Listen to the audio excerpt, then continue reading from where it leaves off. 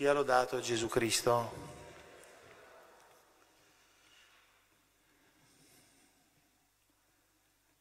Se avessi compreso anche tu in questo giorno quello che porta alla pace.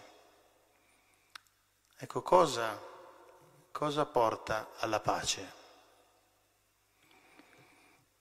Qui avete un quadro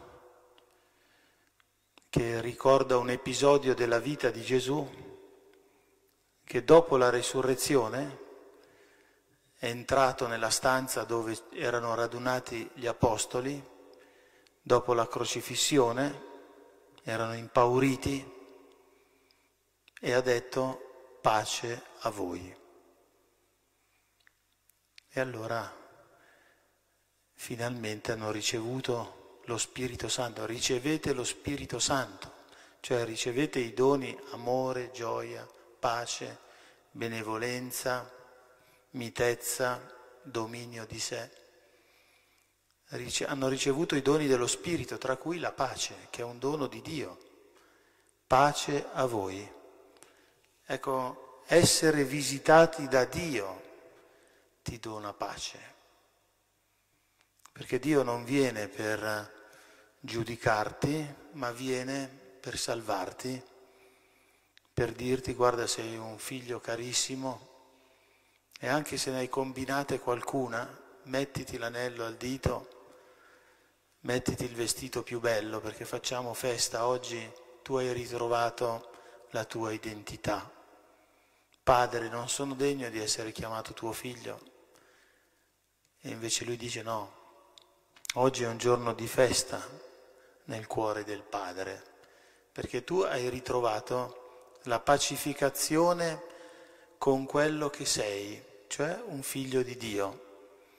E anche se hai commesso il peccato, non hai perso questa identità, come credono i nostri fratelli protestanti, ma rimane in fondo al cuore, secondo i cattolici, questo timbro della, della loro identità non può essere cancellato, quindi cosa porta alla pace? Essere visitati da Dio.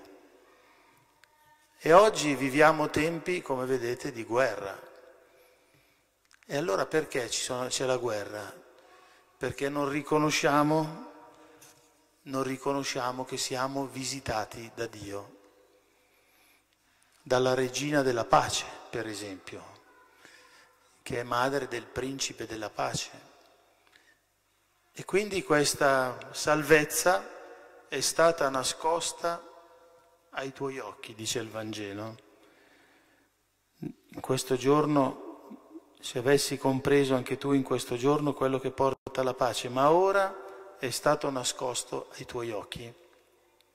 Cioè, non vedi più il segno che Dio manda perché anche tu, abbracciato come Gesù ha fatto con gli apostoli, così la Madonna fa con noi in questi tempi, se tu non ti lasci abbracciare non ricevi il dono della pace.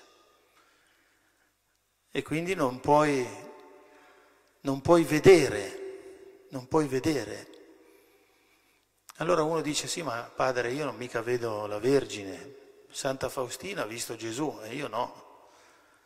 Dove si può vedere? Che siano una cosa sola perché il mondo veda e creda. Ecco, noi cristiani abbiamo questa grande responsabilità di mostrare Dio. Noi non siamo Dio. Tuttavia, dove due o tre sono riuniti nel mio nome, dice Gesù, io sono in mezzo a loro. Quindi quando tu vedi due persone che si vogliono bene, tre persone, cinque persone, L'altro giorno appunto una, una signora ha scritto, vedendo questa foto mi ha messo gioia. In quella foto c'era la figlia che conosce un periodo di agitazione adolescenziale, ma vederla con quelli più grandi, col sacerdote, nella chiesa, ho detto vedere questa foto mi ha messo gioia, cioè mi ha donato un dono dello Spirito, un frutto dello Spirito. Ecco allora, fratelli, noi possiamo vedere Dio se ci lasciamo visitare dal segno di Dio. Gesù misericordioso, la Vergine, che è venuta, che viene sempre in ogni periodo dell'anno, ha detto Papa Francesco, in ogni epoca, il 25 marzo del 2022, quando ha fatto la consacrazione del mondo intero e della Russia e dell'Ucraina, ha detto la Madonna in ogni tempo, in ogni epoca ci fa visita, visita i suoi cari figli, ha detto. Ecco allora noi dobbiamo aprirci al segno che Dio ha, ci ha mandato, perché se stiamo a Gerusalemme e non andiamo a Betlemme, il segno non lo vediamo. Il segno implica che tu ti muova, pellegrino, come quelli che si trovano qui. Quanti dicono io dovevo venire in questa chiesa, oppure ci sono capitato per caso e non pensavo di incontrare questo segno, oppure nella mia vita sempre questa immagine eh, ogni tanto ricorre.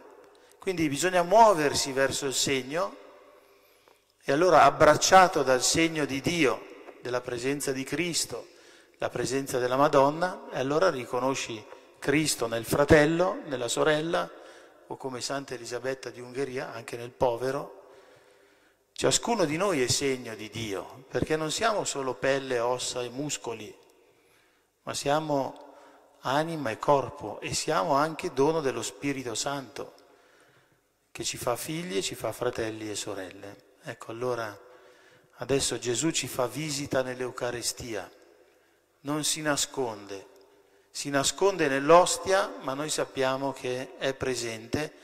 E da dove si può vedere? Dagli effetti.